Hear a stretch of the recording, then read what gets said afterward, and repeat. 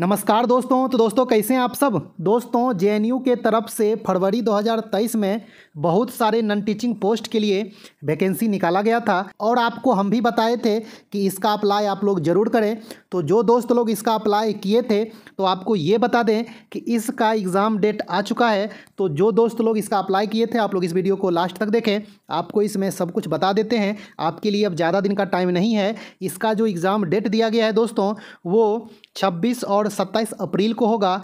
बस दस से ग्यारह दिन का अब टाइम है। अभी आपका एडमिट कार्ड आया नहीं है, लेकिन दो से तीन दिन में आपका एडमिट कार्ड भी आ जाएगा ओके तो ये किस किस पोस्ट के लिए अप्लाई निकला था, जिसका एडमिट कार्ड आया है तो आप लोग यहाँ पे देख लें। Junior assistant personal assistant stenographer और इसके अलावा बहुत सारा पोस्ट था, जिसका एग्ज़ाम डेट आ चुका है, जो कि 26 और 27 अप्रैल को होगा।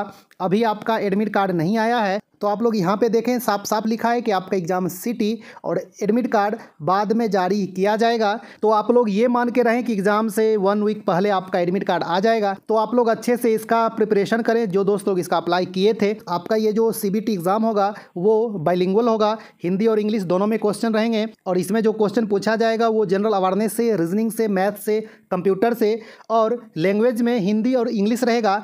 आप चाहें तो हिंदी का क्वेश्चन बना सकते हैं या फिर इंग्लिश का क्वेश्चन ये आपके ऊपर डिपेंड करेगा। आपका जब एग्ज़ाम स्टार्ट होगा, उससे पहले ये चूज़ करने का ऑप्शन आएगा कि आप हिंदी लैंग्वेज का क्वेश्चन बनाना चाहते हैं या फिर इंग्लिश लैंग्वेज का क्वेश्चन, ओके? हाँ तो ये आपके ऊपर डिपेंड करेगा। समझ में आ गया दोस्तों?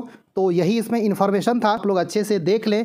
ये टोटल तेईस पोस्ट का एग्ज़ाम डेट आ चुका है, आप लोग देख लें कि आपका जिस पोस्ट के लिए आप अप्लाई किए थे, उसका एग्ज़ाम डेट इसमें है या नहीं, आप जिस पोस्ट के लिए अप्लाई किए थे, वो इस लिस्ट में है या नहीं, ओके? तो दोस्तों, यही एक इसमें जानकारी थी। आपको यदि ये जानकारी अच्छी लगी होगी तो वीडियो को लाइक कर दें। और इस चैनल पर हिंदी का बहुत सारा वीडियो पहले से है। आप लोग यदि देखना चाहते हैं तो देख सकते हैं। के हिंदी करके प्ले बना हुआ है। आप लोग देख लें, आपको इस एग्ज़ाम में हंड्रेड हेल्प करेगा, ओके? और कंप्यूटर का भी के एस कंप्यूटर करके प्लेलिस्ट बना हुआ है। आप लोग कंप्यूटर का भी ऑल टू ऑल वीडियो देख लें। आपको एग्ज़ाम में हंड्रेड परसेंट हेल्प करेगा ओके तो दोस्तों, आपको यदि ये जानकारी अच्छी लगी होगी तो वीडियो को लाइक कर दें।